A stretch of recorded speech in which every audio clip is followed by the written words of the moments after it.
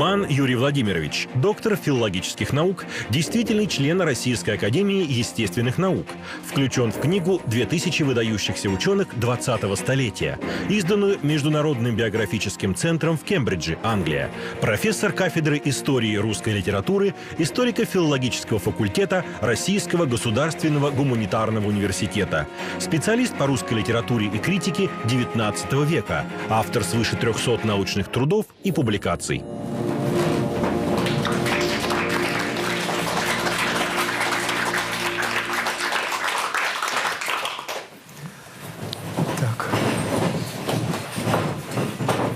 Продолжим нашу беседу. Я сказал, что Ленский, э, Ленского, э, Ленский может заключать в себе зерно истинного таланта. Но оказывается, что это не просто талант, что это талант э, выдающийся. В самом деле, когда вы читаете вот эм, о том, строки, строки, строфы, о том, кем мог бы быть Ленский, то вы э, должны обратить внимание на такие слова. Быть может, он для блага мира или хоть для славы был рожден. И поэтому на ступенях мира ждала высокая ступень. Так? Вы знаете, это похвала высшего рода. Высшего, так не скажешь, скажем, даже о Кюхельбекере. На ступенях мира – был, быть может, он для, быть может, он для славы был рожден или для блага мира. Так можно сказать только о большом поэте, о великом поэте. И оказывается, такая перспектива была и перед нашим героем. Но была и другая перспектива, как вы помните. А может быть, и то поэта обыкновенно ждал удел. Пришла, прошли бы юношество лета. Душой охладел, и так далее, расстался с музами, э, женился и так далее, и так далее, и так далее. То есть э, удел обыкновенного человека, обывателя. Можно, можно было, возможно было и то, и другое. И вот эта вот альтернатива весьма показательна для Пушкина. И отчасти я тут, мы с вами уже нащупаем тот ответ, э, которым мы стремимся, который мы хотим дать на основе изучения, э, изучая материал. Что такое? Пушкинские характеры открыты. Э, с человеком все может случиться. Э, путь его непредсказуем. Он может быть, как вы видите, и гениальным поэтом, и может быть обывателем. Все зависит от времени и обстоятельств. И с этим с вас связан вот такой элемент неожиданности. Э, именно неожиданность для нас с вами, для читателей – Потому что мы обычно э, мы, э, нас приучили к тому, что мы ищем предпосылок, какие-то предпосылки будущего развития. И эти предпосылки действительно есть. Но в то же время, пока человек жив, с ним все может случиться. И он может удивить нас такими превращениями, такими изменениями, которые мы и не предполагали. Наверное, в мировой литературе помимо Пушкина, есть только еще два художника такого рода, где характеры э, э, открыты и не, отчасти даже не детерминированы. Вот излюбленная такая категория была в литературе в свое время. Детерминированность характера, то есть предопределенность. Нет, они открыты.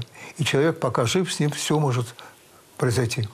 Открыты, и, следовательно, вот, возможно и то, и другое и неожиданные. Самое главное – неожиданные. Ну, собственно, это особенность жизни. Именно жизнь.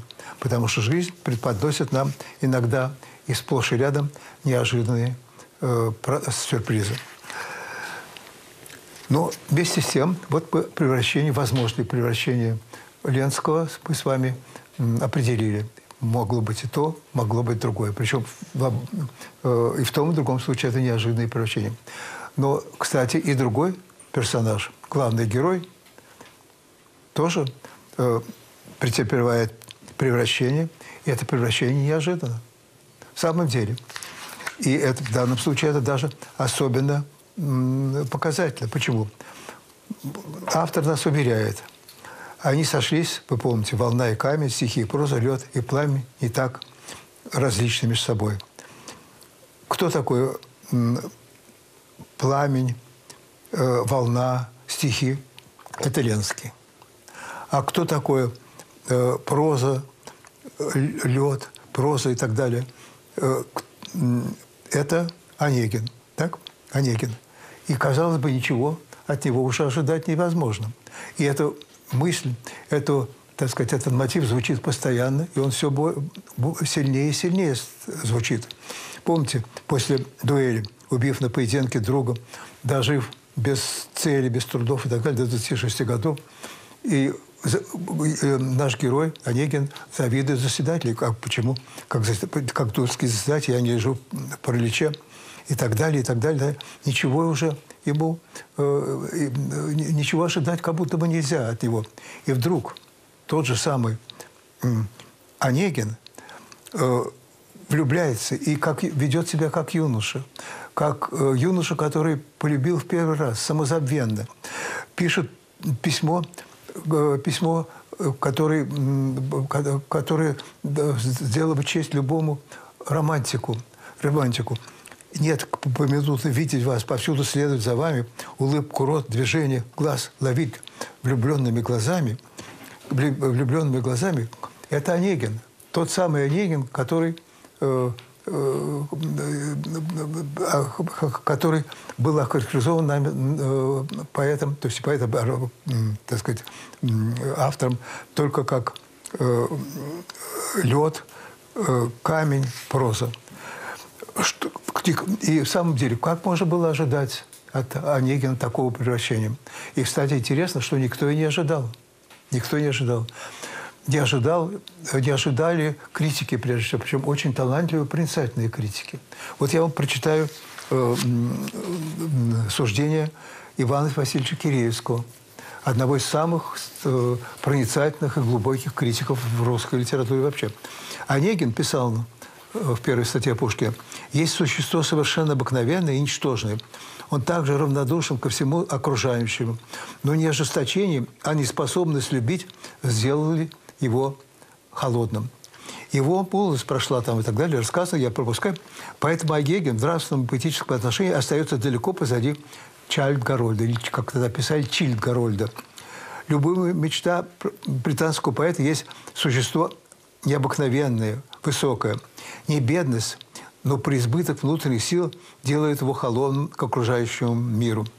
Бессмертная мысль живет в его сердце и день, и ночь, и поглощает в себе все бытие его. Иное дело Онегин. Нет ничего обыкновенного, ничего не обыкновеннее такого рода. И всего меньше поэзии в таком характере. В таком характере. Вот вам суждение Киреевского. Он не знает еще, кем станет Онегин, но он предвещает, он предсказывает, что ничего э, поэтического, ничего, э, так сказать, э, э, яркого от него ожидать не приходится. А, а произошло, произошло совершенно противоположное явление. Э, и, кстати, это не только Киреевский. Э, такой проницательный Э, худо, поэт, замечательный поэт, можно сказать, великий поэт, Боротынский, когда сравнивали его героя Елецкого из «Цыганки» или сравнивали с Онегиным, то Боротынский возражал. Почему, говорил он, Онегин отжил, Ильецкий только начинает жить. Онегин неподвижен, Ильецкий действует. Онегин скучает от пустоты сердца, Ильецкая скучает от недостатка, недостатка сердечной пищи. Э, цитата из, э, из, из поэм. «Илецкая битву проиграл, но побежденный спас он знамя и перед самим собой не пал». Не пал. И что же оказалось? Оказалось, что и Онегин не отжил, наоборот. Он еще живет, он еще способен на, на чувства, на всеобъемлющее чувство. Хотя при этом, надо сказать, никаких вот э, ни он, ни повествователь не произносят э, никаких э, изречений насчет того, что вот Елецкий или кто теперь уже Негин побеж... спас он знамя, при самим собой не пал. Нет, все дается в таком в регистре повседневности, не, не, как будто бы это естественно, как будто это совершенно, так сказать, неизбежно. Хотя никто этого не предполагал, не предполагали ни герои, не предполагали ни читатели, И самое главное, не предполагал и сам автор, что очень важно. Известное выражение Пушкина, что Татьяна выскочила замуж, говорит о том, что он тоже, что она поступила неожиданно для автора. И в этом я, я продолжаю уже отвечать на наш вопрос. Я буду это делать попеременно с постановкой вопроса. А, я буду перед вами выдвигать новые и новые проблемы, и в то же время отвечать на этот вопрос. А все дело в том, что, э, э, что жизнь непредсказуема. И что никаких преимуществ автор тоже не имеет перед жизнью. Перед жизнью. Он так же, как и другие, не может предвидеть всех обстоятельств и всех поворотов судьбы. судьбы. И в результате получается, что вот наши школьные и вузовские определения образов э, Онегин там разочарованный, Ленский э, восторженный романтик и так далее. Нет, они все ограничены. А, они все недостаточно точ, точные, недостаточно корректные. Нет, на самом деле это движущиеся характеры, которые живут, и а как, как, как любое живое существо, они способны на изменения. Э, и, пожалуй, я уже говорил о том, что, пожалуй, только два великих корифея мировой литературы, Достоевский и э, Шекспир, в данном смысле, в этом смысле э, придерживаются той же самой эстетики, потому что они, характер их тоже открытый и неожиданный. неожиданный. Причем очень часто это неожиданное превращение выступает без предшествующей мотивировки оно не детерминировано. Нет, оно просто неожиданно и э, при этом не сопровождается никакими, никакими э, так сказать, манифе, э, манифестами и декларациями вроде спасенного знамени.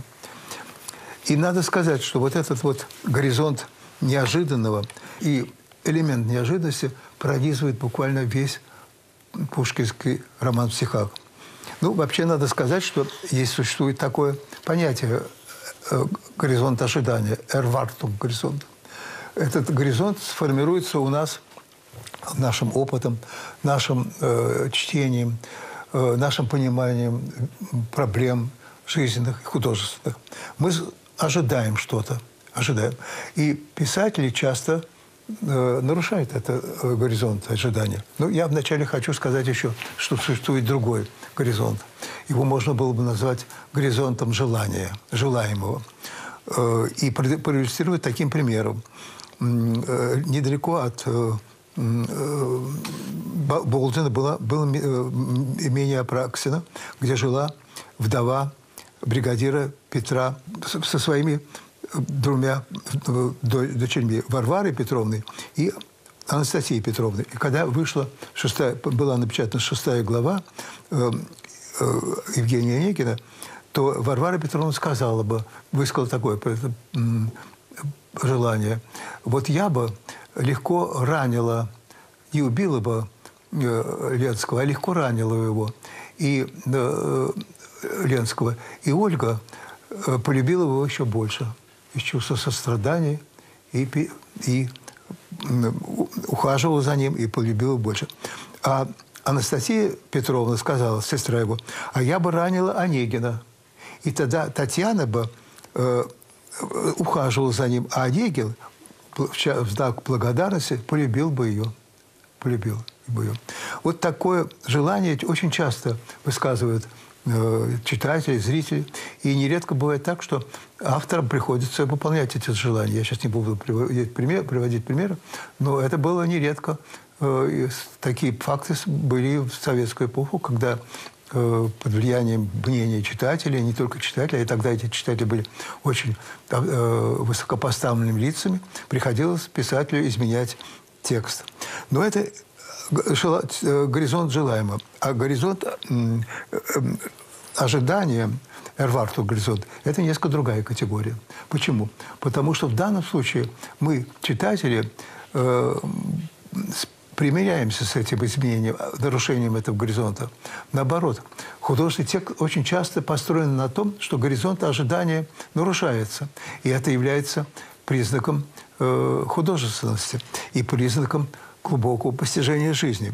Потому что то, что сформировано нами, э, нашим опытом, нашим ожиданием, горизонт ожидания, то на самом деле в художественном тексте, в глубоком художественном тексте опровергается. Это вполне естественный процесс.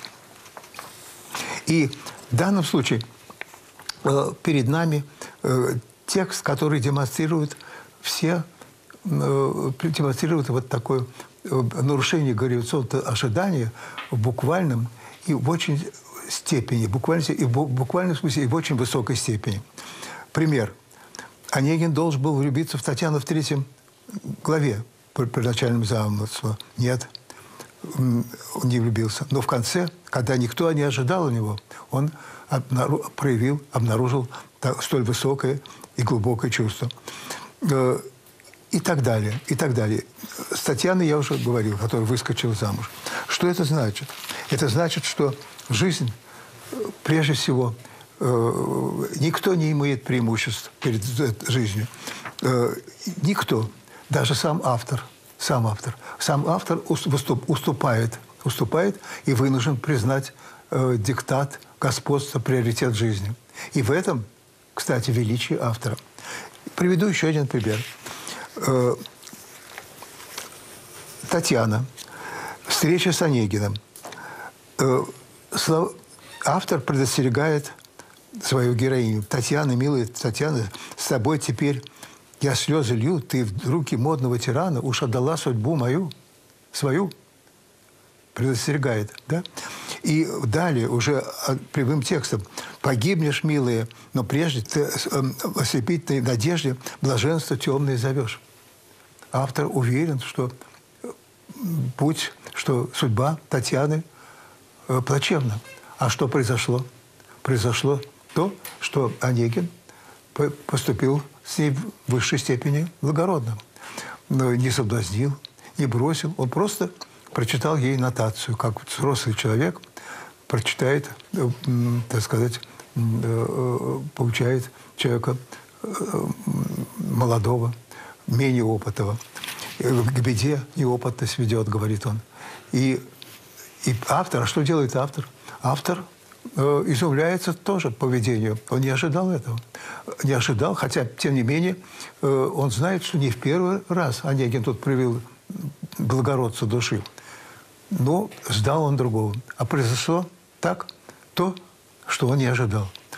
Это вот то же самое, э, то же самое явление, приоритет жизни, прежде всего. Прежде всего. И автор, э, всезнающий автор, э, всезнающий автор, оказывается, э, остается послушным учеником жизни. И то, что он умеет сохранить эту позу, и величайшее его достоинство, и величайшая сила романа.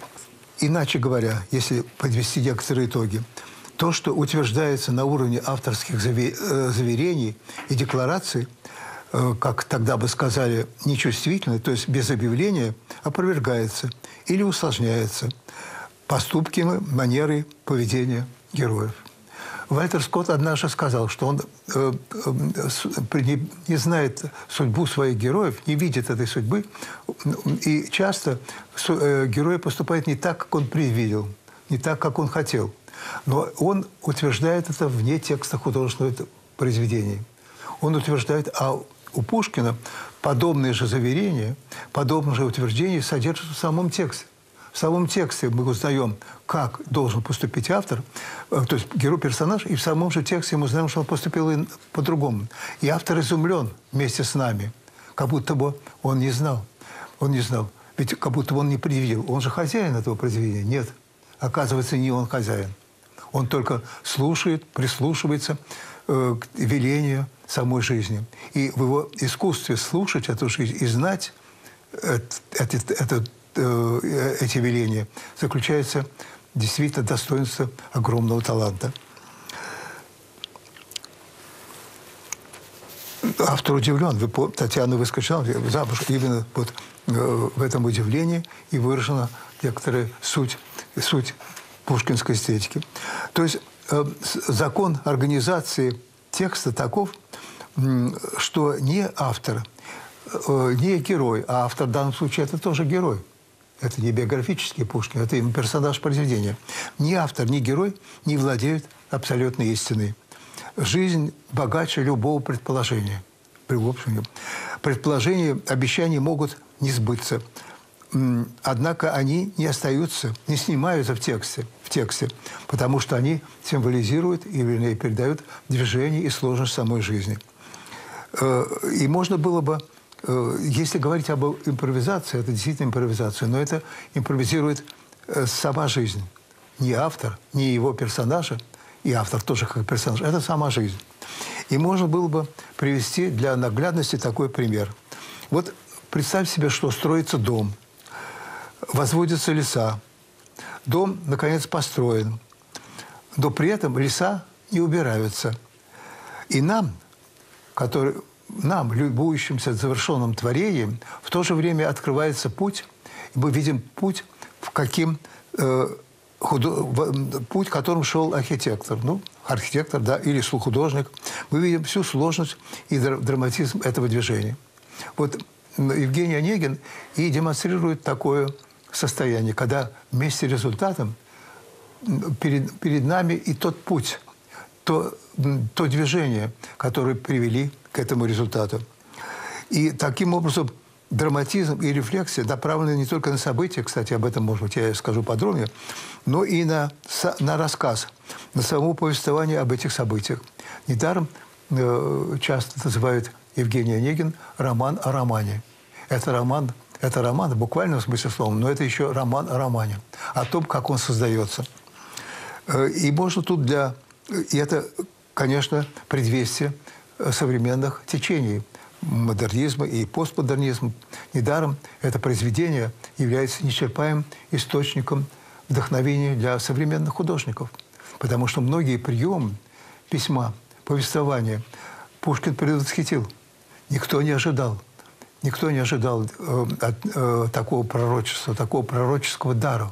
Вместе с тем оно совершилось. Он, это, э, это, этот роман демонстрирует перед нами и результат – и в то же время и ожидание этого результата, иногда ложный, иногда сбывшегося, перед нами процесс, творческий процесс во, всей его, во всем его объеме и сложности. И я говорил о том, что философская критика, в частности, вот Надеждин, один из ярких представителей философской критики, не могли примириться с такого рода действием, потому что они ждали другого – такого рода противоречий и разрешения этих противоречий они не ожидали. Я приведу вам э, пример, цитату из э, одной статьи э, Надеждина. Э, Надеждин пишет, э, что само явление его, Евгения Онегина, неопределенно периодическими выходками, то есть выходами тираж, э, изданиями, беспрестанная пропуском и скачками показывает, что поэт, поэт не имел при себе ни цели, ни плана. Ну, нужно пояснить, что э, Евгений Онегин выходил главами, первый глав в 25 году, вместе в, с, с разговором книгопродавца, с поэтом, э, главами. Одна глава за другой, и определенными выходками. И э, с точки зрения Онегина, простите, с точки зрения Надеждина, значит, поэт не имел перед собой плана, а действовал по свободному внушению э, играющей фантазии. Играющей фантазии. Это совсем не так. С одной стороны, действительно, Пушкин имел, он имел, конечно, свой план, но он дал возможность жизни вмешиваться в этот план. И он не, не, не, не фиксировал этот план как некое непослед, так сказать, э, неизменное руководство к действию. Нет, он открывал доступ к явлениям жизни, к тем э, силам, тем волнам, волнам, которые шли от этого э, э, к сердцу и к уму поэта. И далее про, про, э, Надежда пишет, смело можно было угадывать, что при первой главе Онегина Пушкин и не думал, как он кончится. Как кончится. Нет, Пушкин думал, как он кончится. Но он, тем не временем, и вносил элемент э, свободы. И он не собирался, э, э, так сказать, из того замысла, то, то замысла или намека на тот замысел, который у него был в начале, делать догму. Нет, он был открыт к жизни. Э, Пушкин не думал, как он кончится. И вот, собственно, его э, откровение или откровенное признание в последней главе. Вот. То есть слова Пушкина Надежин э, рассматривает как некую улику. Вот, мол, автор проговорился. И он, наконец, сказал, как он писал. И то его, это признание звучит как, с его точки зрения, с точки зрения Надежды, как признание в слабости. Вот так. Что же он сказал в, в главе? «Промчалось много-много дней с тех пор, как юная Татьяна, а с ней Онегин в смутном сне явились, явились впервые мы, мне и даль свободного романа я сквозь магический кристалл еще не ясно различал». Какие тут предусудительные слова? Во-первых, э, в смутном сне. Что это за смутный сон? Да, конечно, поэт, с точки зрения надежды и философской критики, поэт, писатель э, э, может э, не все еще понимать, не все осознавать, но сон этот отнюдь не смутный. Если твой сон смутный, если ты смутно представляешь себе развитие действия, не садись за стол, не бери в руку перо, в руки перо. Это так великие художники не поступают с точки зрения надежды. А затем, затем даль свободного романа. Свой магический кристалл еще не ясно различал. Свободный роман. Что значит свободный роман? Надежда был против того, чтобы роман или вообще художественный текст подчинялся правилам классицизма, правилам романтизма. Да, он был в этом смысле за свободный роман. Но с точки зрения Надежды, роман или любое другое художественное произведение не должно были быть свободны от правил художественности, от законов изящного, от законов изящного, от законов литературы и искусства. Такой свободы Надежда не признавал. Нет, есть законы, они только более сложные, но они столь же непререкаемые, как любой законы природы. Вот так. А смут, а Надежда признается, что он неясно различал, и даль свободного романа не может быть свободный роман вообще – может быть свободной только от определенных э, правил классицизма, еще раз хочу сказать, романтизма, но не свободной от правил художественности. Вот так. Я еще, еще не ясно различал. С точки зрения Надеждина, это, так сказать, автор, авторское признание звучит как э, признание слабости. Он проговорился. А на самом деле все по-другому. На самом деле это признание в силе. Потому что э, Пушкин – создает особый тип повествования. Тип повествования, от, открытый всем треволнением, изменением, метаморфозом жизни. Причем это все подчеркнуто в самом тексте. Поэтому Евгений Онегин никогда не может э, не, не, не доесть. Вы будете читать его, потому что каждый раз вы читаете его по-новому.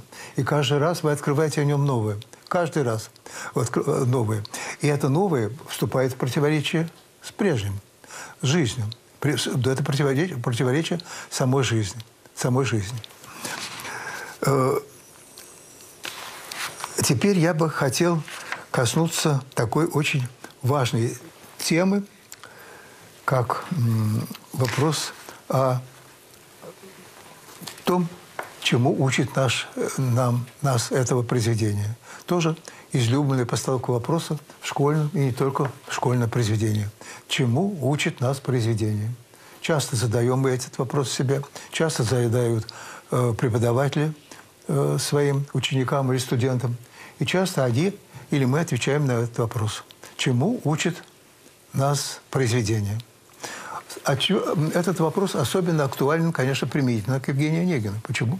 Потому что последняя глава э, и э, развитие коллизии, и поступок Татьяны, и которые, э,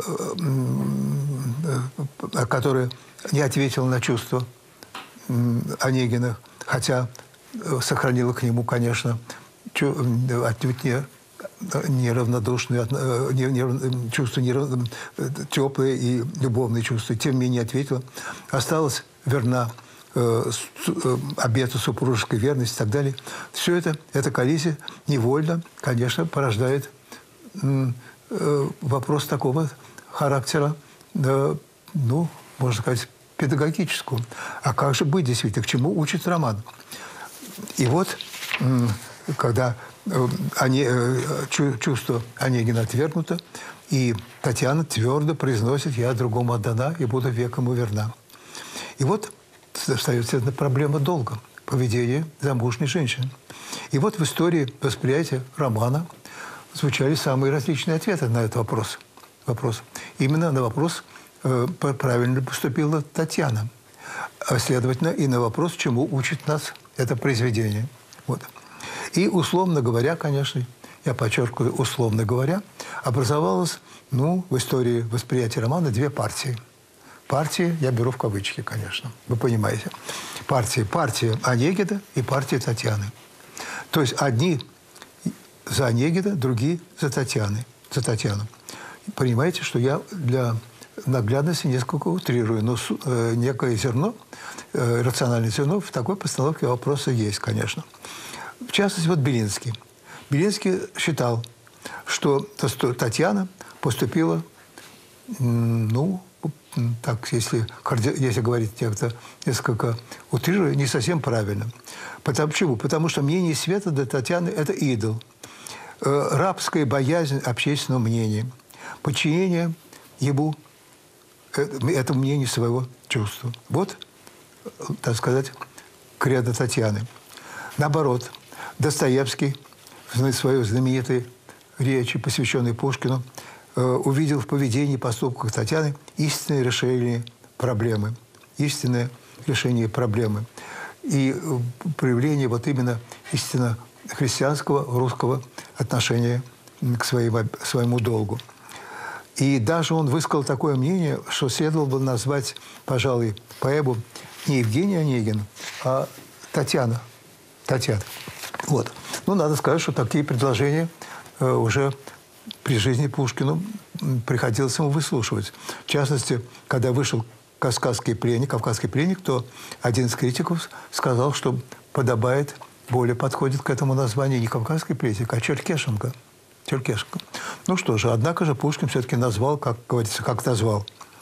И вот эту линию, линию осуждения э, э Пушк, Онегина и, наоборот, э, восхваление Татьяны продолжили многие-многие критики, философы XIX века – и последующего времени, последующий вплоть до, наших, до нашего времени, последующий эпохи вплоть до нашего времени.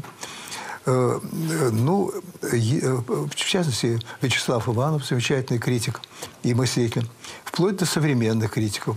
И вот я прочту, почитаю цитату из одного тоже талантливого критика, я не буду называть его фамилию, который пишет буквально, что Белинский презирал Татьяну за то, что она не завела романа с Онегиным, как подобает свободной от предрассудков передовой женщине, не сбежала от человека, с которым связана христианским браком. Вот. И Бели, э, вот так вот. Но это не совсем так. Конечно, Белинский, э, так сказать, говорил о, о Татьяне э, как о женщине, скованной общественной, так сказать, моралью, моралью господствующей моралью. Но при этом он никаких призывов никаких рекомендаций не давал. Не давал. Это уже некоторое, так сказать, привлечение.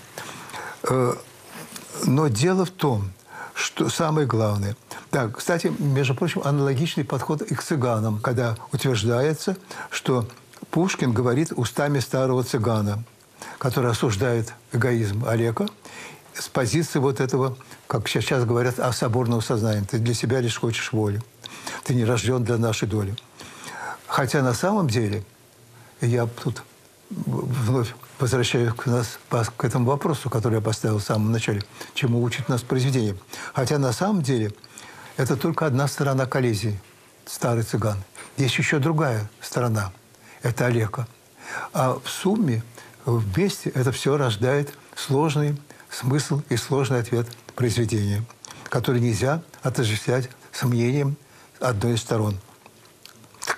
Если обратиться, вернуться опять к Онегину, то следует не упускать из виду трезвый и отнюдь не идиллическое, а отнюдь не идиллическое представление Пушкина о семейных отношениях в России.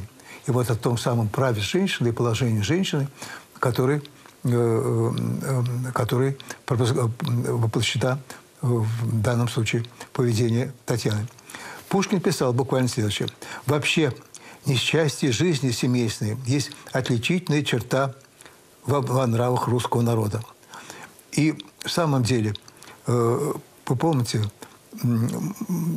и полная Таня. В эти лета мы не слыхали про любовь, а то бы согнала со света меня покойница свекровь. Так? Э, то есть чужая воля. Не воля чувства, не э, э под, э, чувство, а чужая воля. И, и, собственно, Татьяна тоже так же говорит. Я другому отдана. Отдана. Отдана чужой воле. Так? Что же, а, а что же это, что это означает? Это означает не то, что Пушкин, допустим, в данном случае прославляет свободную любовь. Не дело не в этом. Или то, что в данном случае Пушкин настаивает на том, что надо нести свое, так сказать, ермо, ту ношу, которую ты на себя взял, коли ты вышел или вышла замуж. Да? Дело не в этом. Дело самое главное в том, что вопрос о супружеской верности или неверности – это не предмет Евгения Онегина. Мы, читатели, можем на основании материала, который представляет нам это поэт, предоставляет, делать свои выводы. Но эти выводы нельзя абсолютизировать и нельзя выдавать за окончательный вывод произведения. Э, один, один критик э, очень хорошо сказал в связи э, с публикацией, в связи с интерпретацией цыганов – он сказал, что Пушкин преподает нам не великий урок, а великую проблему. Великую проблему. И автор Евгений Онегин тоже преподает нам великую проблему. А нам, читателям и пушкинской эпохи, или нашим современникам, или будущим поколениям, предоставлена возможность решать эту проблему. Решать эту проблему. То есть постигать смысл пушкинского послания Э, или социолог и публицист наших дней назвал бы это э, модным словом «месседж». Вот э, это нам нужно разгадать. Причем процесс этот, бесконечен. Мы можем постигать его, будем постигать всю жизнь и до конца. И будущие поколения будут извлекать из этого произведения свои выводы и свои, так сказать, формулировать свои решения. Произведи, произведение же преподает нам именно великий урок. Не великий урок, а великую проблему. Если бы великий урок, то оно бы свелось просто к такому назидательному педагогическому сочинению средней руки. А перед нами великое произведение, неистощимое, э, э, неизмеримое по своей глубине и по своей значительности. Седьмая глава. Татьяна в доме Евгения Онегина.